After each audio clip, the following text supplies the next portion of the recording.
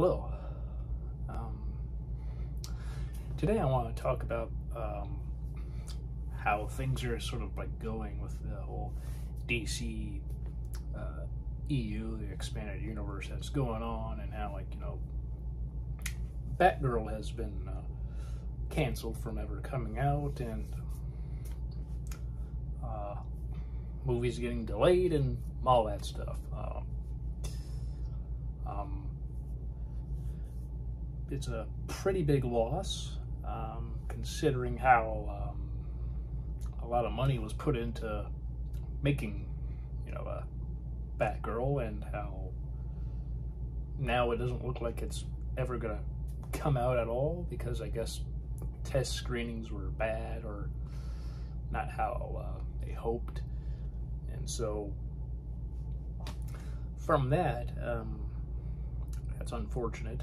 Uh, in the fact that you know, there for those who are interested in watching the movie, um, now it doesn't look like there's gonna be any uh, way to see it at all at this point in time. Um, you know, being like you know, like being released in theaters or HBO Max, and how apparently like HBO Max is being like gutted or something at the moment. I don't know all the details on that so many people are focused on the whole Batgirl thing, and um, and I know there's people discussing about you know the quality from the images and stuff that were shown and whether or not it looked good from what you know uh, was available uh, for people to know and all that stuff and discussions of like race swapping and all that. And I mean, like everybody, I've got my own thoughts on that, so I'm not going to go into it because uh, I kind of want to stay on topic um, with this. And really, that is that, um, you know, the DC expanded universe really uh, hasn't been in a very good state, really. Um, hasn't been for quite some time. I guess you could even say ever since after Man of Steel came out, it hasn't really been in a good state since, you know, we were supposed to get Man of Steel 2, um, which has never happened. Um, I know one will argue um, Batman versus Superman is basically Man of Steel 2, but that wasn't supposed to be the case. The original sequel with ideas and stuff of going on, Batman was not supposed to be in it. Um, really, um, it was just supposed to be another Superman film. And I guess there would have been like maybe more Easter eggs or something with like Batman and Wonder Woman and all that, all those Justice League characters. Um, and, uh, but, you know, because, because, you know, DC wants to do sort of like what Marvel did, they're kind of, you know, rushing things. And so because they're rushing, um, not everything has panned out the way they hoped. Um, you know, the response from viewers and, you know, cr critics and all that stuff, and even box office at times, you know, seems to indicate people aren't too happy with the state of um, uh, of that uh, this series that they're doing you know, there was like they kind of rushed things, didn't really have much of a plan. at best, it was very vague. Like, you know, we have, we're right here, and this is where we want to be. And so they kind of just try to make as many movies as possible until uh, they could get to Justice League. But rather than, you know, you know, what, what Marvel did was they had a plan from Iron Man to Avengers and how to get there with each film. Um, and they were kind of, and they were making movies pretty much, you know, con, uh, sort of all at the same time, and uh, weaving certain characters here and there, like cameos and such, um, to help weave everything together. Um, but uh, it's it's interesting uh, how Marvel did it, and they did it well, and yet uh, when DC does it, and you know they can see what Marvel did, and rather than sort of like adopting that, that sort of like process into theirs, they kind of just did so many things all at once, and now it's at the state where it is now, and you know, so much is going on with DC and how like you know the fact that you know this film is not happen is not um, you know coming out at this point. You know maybe someday it will be on blu-ray or whatever. Because um, you know you think they want it to be out so they can somehow recoup the money you know and um, if there's enough hype around this film which I didn't see too much, but then again, I wasn't really looking too much into Batgirl. I heard bits and pieces, and I'm like, I don't know, doesn't totally interest me too much. But um, you know, if a trailer comes out and more things about it that make the film sound interesting look interesting, you know, more than just like the some still images, which you know, don't always give a movie justice. You know, just kind of like you just have like a, a picture or two and a, perhaps a little brief description of what the overall synopsis of the film will be. You know, that isn't always the best indicator of what a movie will be like. So, with all that, um, I was kind of waiting, as uh, as many people, just to see what this would be like, and well, now this movie isn't gonna really isn't happening now, unfortunately. You know, for all those who are really interested in it, now it's like they don't get anything. Um, a lot of people have speculated as to why this is. You know, I mean, there's like bad test screening, but usually if that happens, they usually then try to reshoot whatever they can, get rid of certain scenes that were like a problem to people and then try to fix it by, you know, reshoots and rewriting and all that stuff. That way they can get the movie uh, to be the best way it can be. But then even then, sometimes reshoots can hurt a movie. It can make a movie worse not better. So there's always that chance. And so who knows? Maybe they don't really have much faith in how this DC universe is.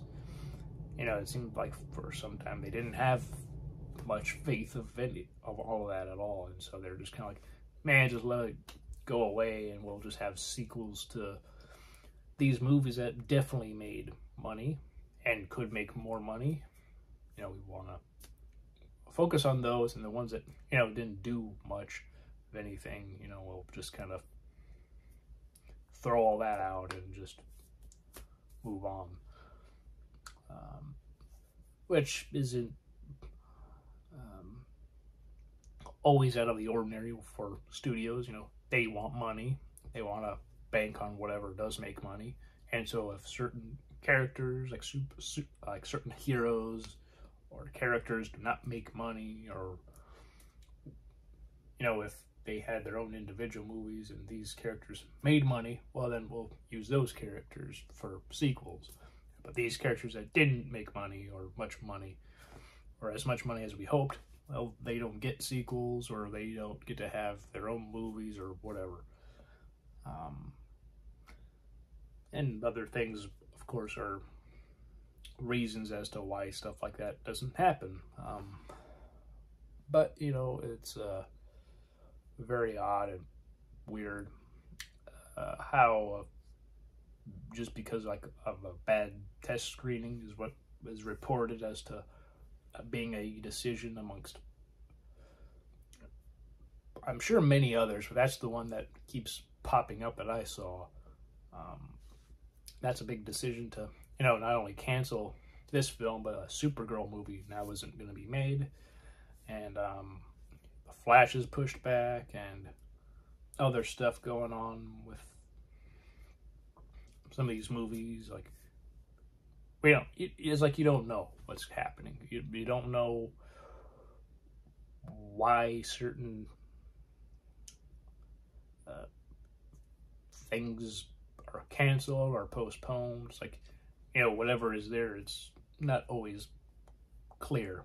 Like there's a lot of factors involved, and you know maybe they just feel like there's not much of a future with some of these films or franchises, which there might not be, perhaps. But even then, it's like you're not even going to release the film that is completely shot.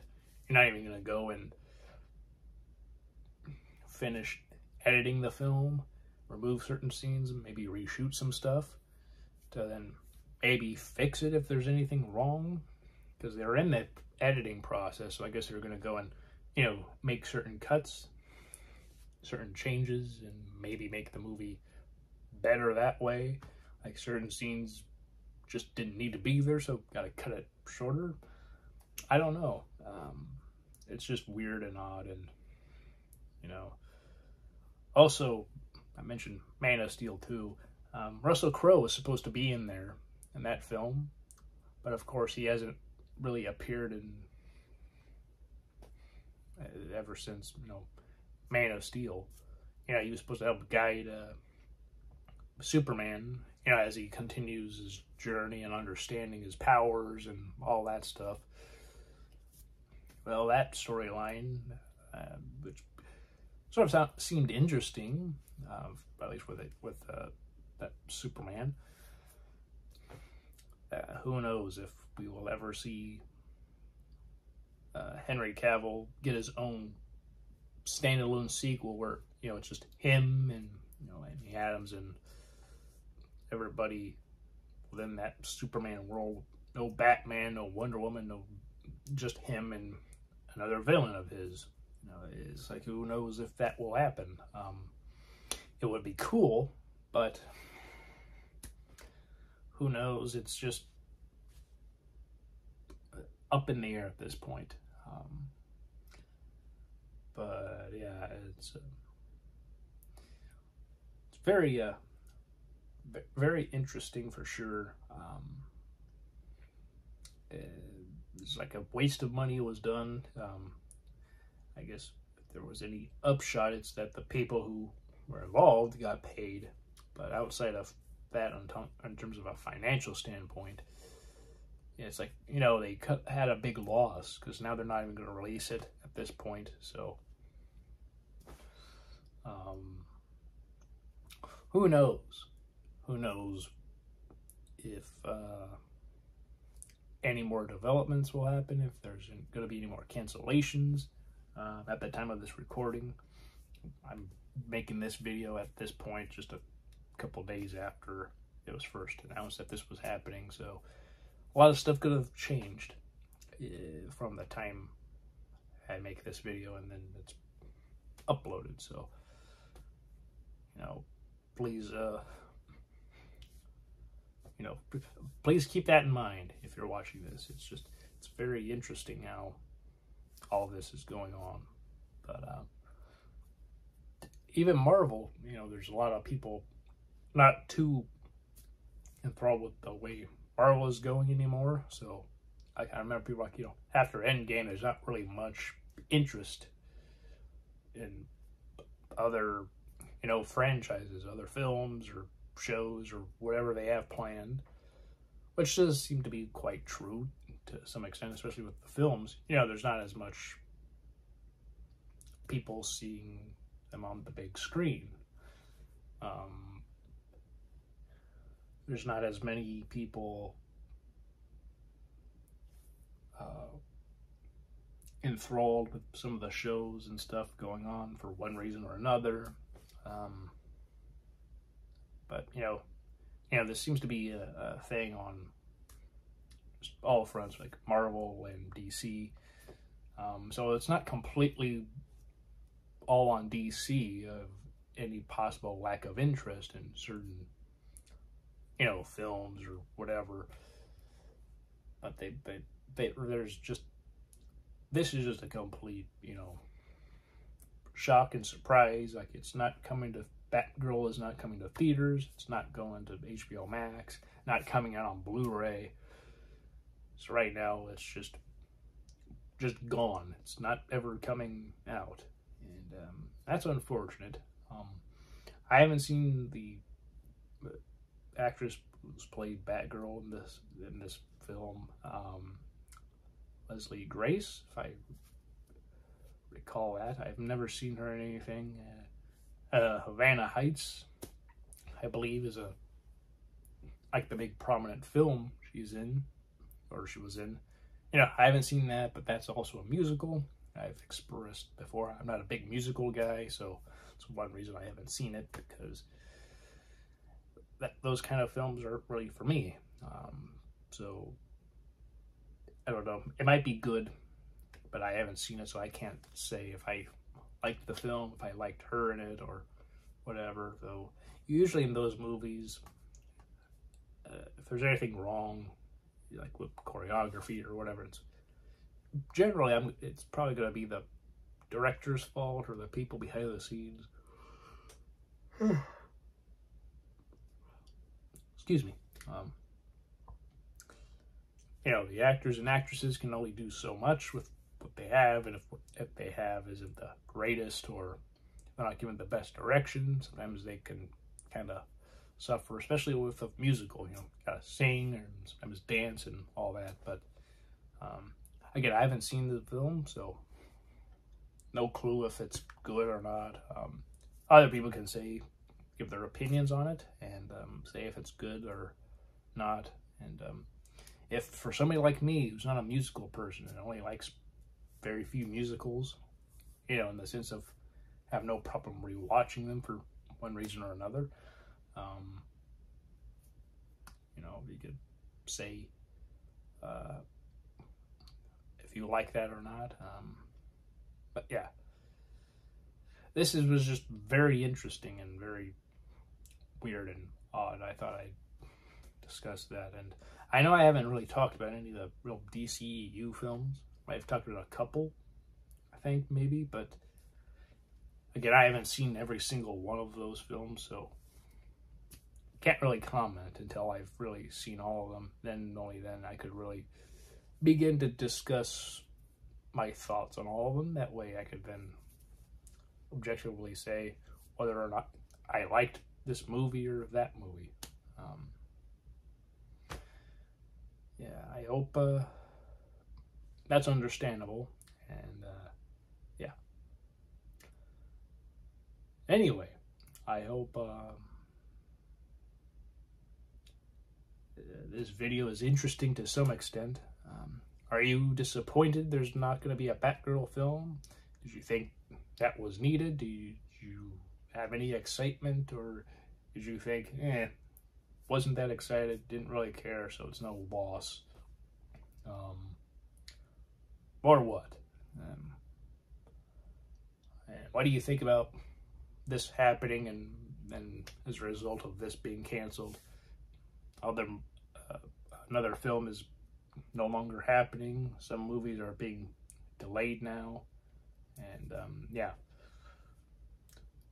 a lot going on. And uh, yeah really sucks at DC and Warner Brothers right now. Um, but yeah. Um, um, oh, and also uh, one more thing. I uh, again, I've written books. So if you if you're interested in a western I wrote, it's The Wandering Sheriff. You know, that uh, bounty hunter looking for some guys and yeah. I um, just wanted to write something that's interesting and different. So that was what I thought of. And uh, book of short stories. Um, and here's the hardcover. Got that now. And uh, I also sort of fixed something. The end. Early on if you got copy. You know, this is now up, up here. Um, but in the paperback here, um, it originally was uh, down here, but this is now up there, the paperback too, but um, it's been fixed, so I got the hard hardcover. Hardcover, I got that when it finally came out, and this is also in hardcover. In my LinkTree, you can go and find that um, if you like. I can pay or buy a paperback, uh, hardcover, or ebook, whichever you like or prefer. And yeah, hope all of you having a great day. Hope you're all have a great week. I'll see you all next time. Bye.